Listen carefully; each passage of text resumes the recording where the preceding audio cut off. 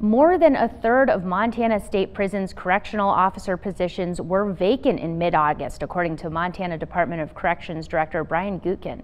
At a June interim legislative committee meeting, legislators asked Gootkin for an update on the ongoing staffing shortage at the Montana State Prison. In a letter to the committee, Gootkin said about 90 of the 250 correctional officer positions were vacant as of August 12th.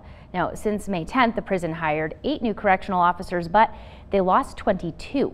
Last Friday, the Montana State Prison Employee Union picketed the prison and called out leadership for failing to retain employees.